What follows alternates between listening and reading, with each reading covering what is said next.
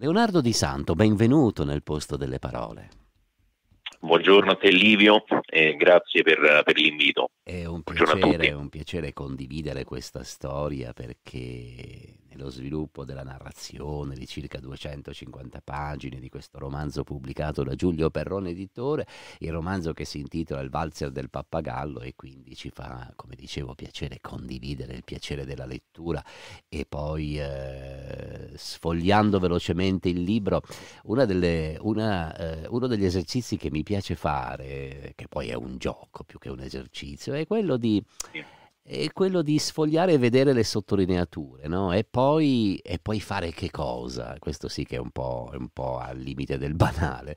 Incominciare a leggere la prima sottolineatura e andare avanti solo con le sottolineature, quindi creando una specie di, di testo, ecco, di filo conduttore con delle notazioni, perché a volte, non so se succede anche per gli scrittori, a volte si fanno delle sottolineature, a volte mi succede prendendo un libro che ho letto da tanti anni, no? lo guardo sì. e vedo una sottolineatura e mi dico ma, ma perché questa sottolineatura? Capita anche a Leonardo Di Santo questa cosa? Capita, e anzi ti dirò, se, se eh, compro oh, dei libri anche usati, mi piace tantissimo leggere anche gli appunti altrui. È una cosa che, oltre alle sottolineature, ecco, se ci sono degli appunti, ovviamente quello che dici tu è anche facilitato, no? nel corso degli anni uno capisce dove, eh, quali erano i pensieri di quegli anni lì. Però capita e ultimamente ecco, mi, è, mi è capitato di, di, acquistare un libro da un banco dell'usato e erano più gli appunti delle riflessioni che, che, le sottolineature e devo dire che questa cosa mi affascina molto, soprattutto dei libri se si trovano ecco, dei banchi usati oppure delle, eh, delle fiere come c'è stata una fiera del libro a Bologna la, la settimana scorsa, mi è capitato proprio di trovarlo lì. Eh sì, poi c'è anche il problema della leggibilità perché a volte uno scrive di getto sì, sì, sì. c'è questo esercizio nel... La mia non si capirebbe per niente, guarda Livio, assolutamente. Leggo nelle svolte di copertina che Leonardo Di Santo, romano, si laurea una, con una tesi sulla scrittura bebop di Jack Kerouac all'Università La Sapienza di Roma, poi si trasferisce a Budapest dove lavora a una biblioteca universitaria, adesso vive a Roma. Ora, eh, entriamo, seppure brevissimamente, sulla scrittura bebop. Qualcuno dei nostri ascoltatori si potrà chiedere, ma bebop, questo mi dà un senso di musica più che di scrittura, e invece?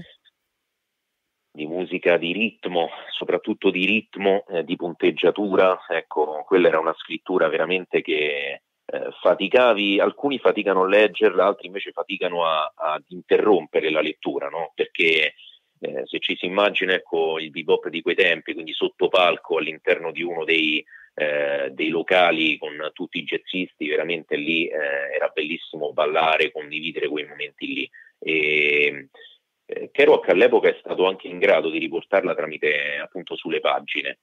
E in questo romanzo qui, Il valzer del pappagallo, già appunto dal titolo, ma anche all'interno della scrittura, ho cercato di, di riportarla, di riportare questo, questo ritmo da, da, brevi frasi, da brevi capitoli, ecco quello che dicevi tu anche prima delle sottolineature, in certi versi ecco, sono, è un romanzo corale, è un romanzo eh, orchestrato in maniera tale che appunto si hanno sei storie differenti che si intrecciano tra loro come un puzzle, però alla fine ci sono alcuni collegamenti anche tra i vari capitoli che portano ad un finale, eh, ecco, anche musicale, no? Potremmo dire.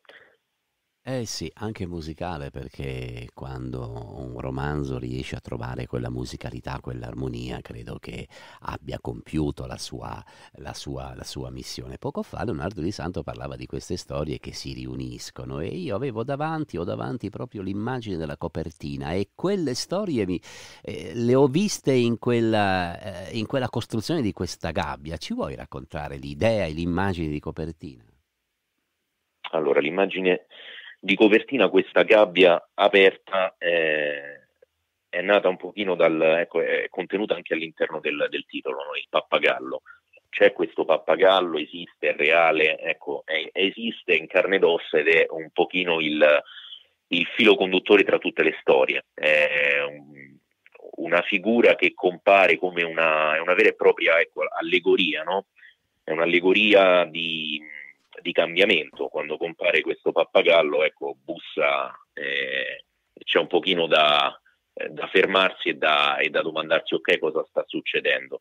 E l'idea è, è, un po', è un pochino nata da, dall'idea primordiale del pappagallo anche all'interno delle, eh, dell'arte in generale come annunciatore, no? veniva utilizzato appunto come l'unico, eh, l'unico animale in grado di parlare, eh, anche per sostituire nel, nei, nei, dipinti eh, l'arcangelo Gabriele, quindi insomma una storia dietro e trattando anche, oltre che di Roma, perché è ambientato a Roma questo romanzo, ma una parte del romanzo, essendo la protagonista venezuelana, è ambientata in Venezuela, uno dei, degli animali più comuni, ma anche dei giochi, ti dirò, dei giochi più comuni, è il papagaio, cioè appunto l'aquilone. Quindi c'era un filo conduttore dietro che mi ha portato più e più volte a, eh, all'immagine del pappagallo. E poi ovviamente eh, il Sud America eh, con la musica eh, facendo un'unione è uscito fuori questo,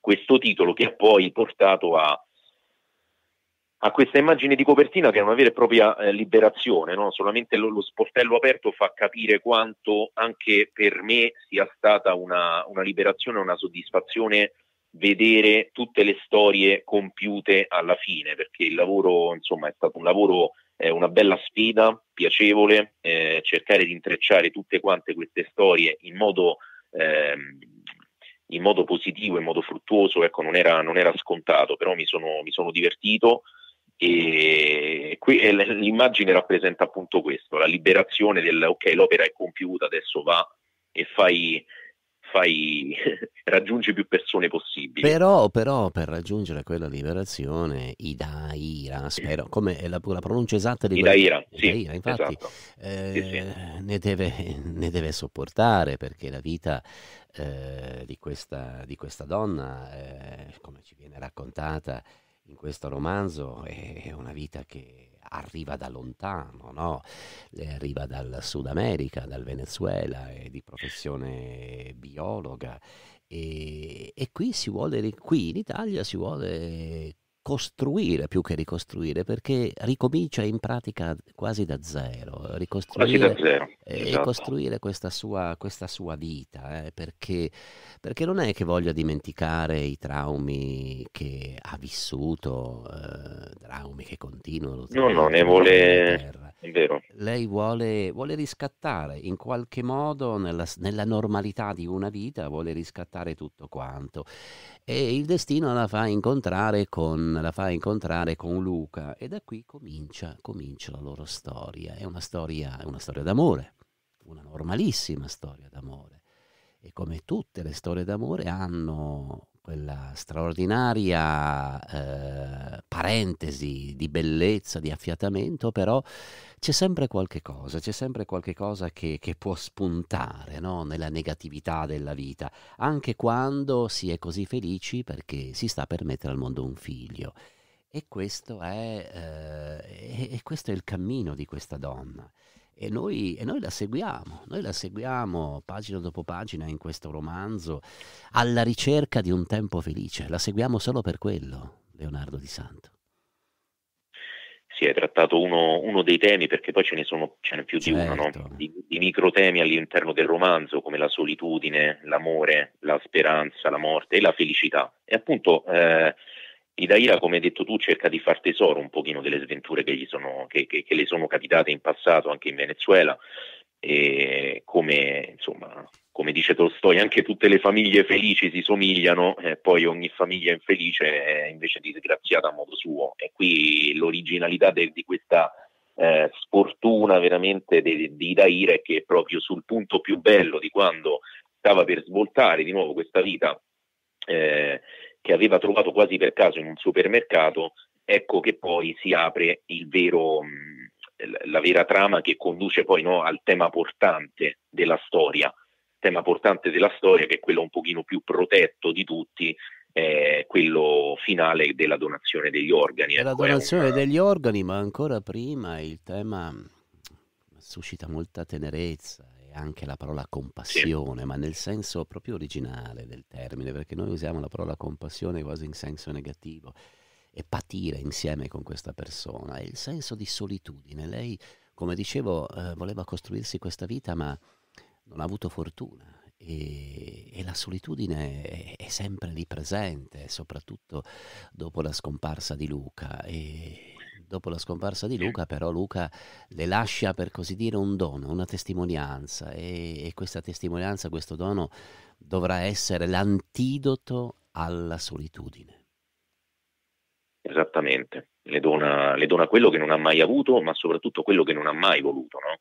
Lei eh, se ne fa quasi una colpa, come ho potuto io mettere al mondo un figlio quando avevo deciso, dopo tutto quello che ho sofferto, di, eh, di non farlo.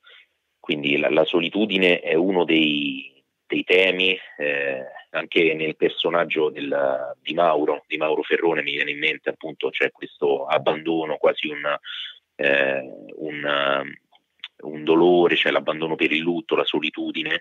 E, e prima dicevo anche che è un romanzo di speranza perché il dolore del ricordo si cerca quasi di, di si capisce che sia bene convertirlo nell'eterna gratitudine per averlo vissuto in realtà quel ricordo, no? invece che, che, farlo ossidare. Ed ecco che in Idaira questo succede, perché la domanda portante per, nel, all'interno del romanzo è, dopo che eh, la morte mi ha perseguitata, mi ha tolto tutto, c'è un modo per fregarla, per raggirarla, come faccio a fregare la morte? Ed ecco che lei trova questa risposta dopo aver perso Luca, si mette in moto tutta una macchina per eh, proteggere e eh, per proteggere questo dono che Luca le ha lasciato, cioè questa bambina che verrà trasportata all'interno della narrazione fino alla fine, conoscendo quasi tutti i personaggi poi, no? Eh sì, tutti i personaggi, ma non dimentichiamo di mettere di nuovo al centro dell'attenzione, al centro di questa conversazione, quel, quel dannato pappagallo. Quel tema. No? Quel dannato pappagallo come a un certo punto Luca chiede, no? chiede, chiede soprattutto, non fa che, che, chiedere di quel dannato pappagallo che eh, è... Eh, è veramente una presenza importante, a volte anche ingombrante perché, perché, perché quella, quella, quella, presenza è anche molto simbolica, Leonardo Di Santo. Sì, tantissimo, è una presenza che troneggia eh, all'interno di casa su questo dipinto che già dall'inizio è l'unica cosa che non piace ai Daira, no? dopo anche che ha, che ha risistemato casa, eh, lui non vuole toglierlo perché ricorda un pochino dei, eh, dei momenti vissuti eh, durante la sua infanzia quando i suoi genitori ecco, si sono separati e il pappagallo è, è effettivamente un, un, motivo portante, un motivo portante per, per tutto il romanzo e, ed è uscito fuori, guarda, ti, ti, dico, ti rivelo questo aneddoto perché io in realtà inizialmente era, era nata con questa, con questa figura che, eh, che collegasse tutto il romanzo, però ho ad un certo punto anche avuto dei dubbi.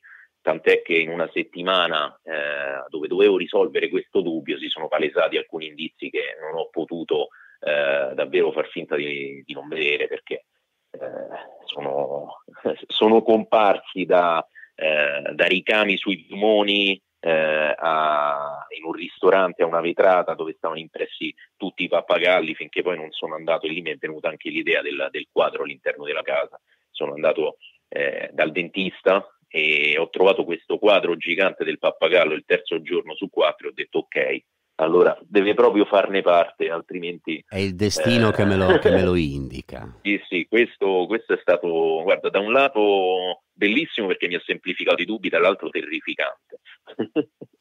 Eh sì, certamente. Poi eh, questa storia è una storia che coinvolge, coinvolge molto noi lettori eh, in questo eh, esordio narrativo di Leonardo Di Santo per Giulio Perrone, la perfezione è solo per chi ha ormai imparato a vivere la vita senza più avere alcuna aspettativa. Questa frase è una frase importante, a chiusura ogni volta che chiudevo il libro eh, me, la, me, la, riguardavo e, e mi chiedevo come la perfezione potrà arrivare, se mai arriverà per Idaira, lo scopriamo solo leggendo questo romanzo, Il valzer del pappagallo, ma noi abbiamo parlato di alcuni protagonisti, ma io vorrei semplicemente mente mettere per esempio due piccole presenze che, che sono anche molto belle, la, la, signora Angeletta, lo zio Alejandro, ecco, sono delle presenze, sono delle presenze confortanti, no? E quindi, sì. e quindi è bello che ci siano anche queste presenze. Leonardo Di Santo, prima di salutarci, qual è il libro che ti fa compagnia in questi giorni? Eh, il libro che mi fa compagnia in questi giorni è un uh, libro che sto portando avanti da, eh, da, un po', l'ho tenuto accantonato, però ad un certo punto sai come funziona, no? Bisogna, bisogna imbattersi, prenderlo e, e, e affrontarlo. Quindi eh, Il tempo è un bastardo di Jennifer Egan che non, ho sempre tenuto lì, l'ho acquistato almeno credo 6-7 anni fa, eh, ho avuto sempre letture più urgenti, però questa volta ho detto dai lo iniziamo e, e l'abbiamo iniziato tre giorni fa, sta procedendo.